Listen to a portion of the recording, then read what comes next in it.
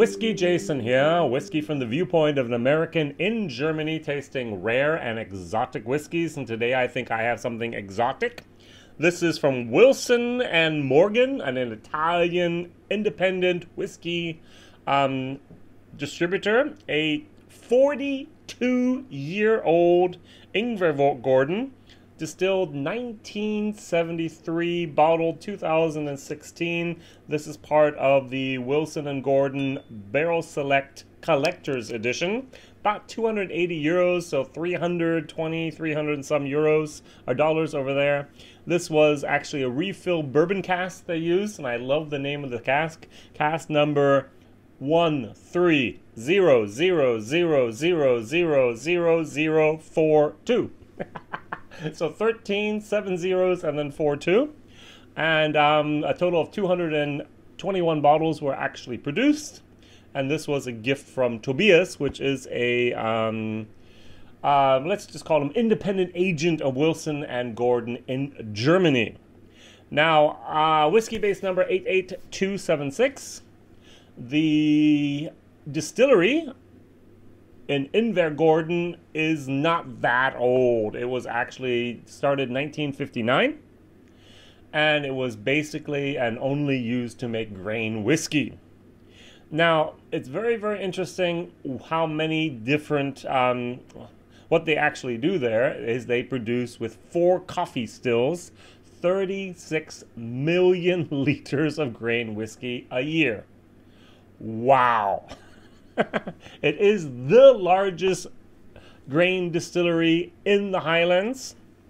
It's the only grain distillery in the Highlands, and it's one of the biggest distilleries in the world, uh, in, uh, in, at least in um, Great Britain and in Scotland. All right, so um, let's take a look. My nose says, very nice. I don't know about you, but I enjoy a good grain. I seldom do I have the chance to try a 42 year old grain. Uh, grains are buttery, grains are soft, grains are very smooth. There's a lot of a vanilla, there's a lot of. Um, exactly, I have a connection in my brain which I've never had before, um, but it's actually somewhat true. If you take the um, um, Dickel, George Dickel, that's buttery popcorn and just age it for another 20 some years. You're basically getting what we got here.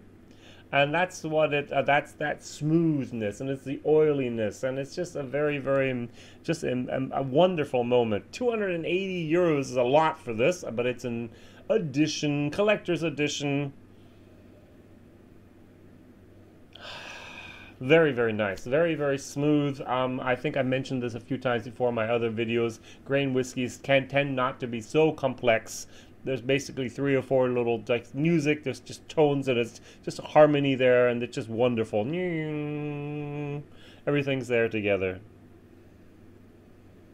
Um, going back to the age, a refill bourbon cask means it was used in the States for four years, probably. Straight Kentucky straight bourbon whiskey, four years minimum. Under four years, you need to put the month and the date on it. Then it was used once in Scotland. That's why it's not a first fill bourbon, it was a refill bourbon. So basically, 10 to 12 years, it was something else was in there. And then another 42 years here for this spirit. So 42 plus 12 plus another four. We're running around somewhere 58 years ago. This barrel was produced. Oh, wait, I forgot something. Normally, the wood of a barrel is dry um, outside for another two years. So we're talking 60 years old oak that was used here.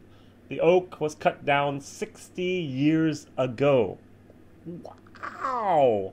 That is amazing. 50s. Haha, I just love this. This is fantastic. Giving it time to develop in my glass. Very, very nice, but I do get that buttery. I'm gonna go for popcorn actually. It's got a little bit of a grapefruit in there, and it has a little bit of the pinon um, nuts in there as well. Very good. Let's try it.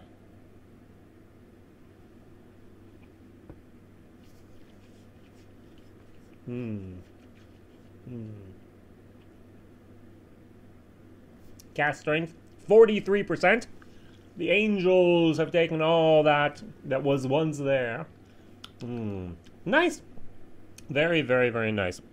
Now, my problem is, it's not wow. It's a B. I'm gonna, I, in my English, my German video, I think I gave it a B minus. B. Um, it's nothing to write home about. It's like, wow, I tried a 42 year old grain single grain whiskey and it was fabulous. I'm sorry. I tried a 42 year old Ing, uh, Invergordon. It was very nice. Nice. But it doesn't really push all the red buttons. It doesn't, it's not really my wheelhouse 100%. Um, I have over here a little sample of um, uh, Carsebridge 34 years old that was actually um, finished also in a refill sherry hogshead. Um, cask strength 48.8%. Beautiful, beautiful. Mmm. Just fantastic. Very, very nice. So I'm going to give this a D minus for the value for money. It's just not worth it in my case. If you want a collector's items, if you want something that was actually produced in the year you were born, 1972, 1973, I'm sorry, um, it's difficult to get a normal Scotch whiskey at a price that's anywhere near this. So if you're looking for your birthday whiskey, um, 1973, this actually might be a very good value for money. Otherwise, I'm not going to recommend it. Um, it's nice to try, but it's not really something that I'm going to go, wow. Um, three drops of water. Does it open up? A tiny little bit, yes, but the water doesn't really do much to it after those 42 years in the, in the cask. Hmm. It just basically stays the same. Not much change at all. It gets a little bit watery, but it, the the the, uh, the intensity of the um, of that buttery and that popcornness is still the same. All right.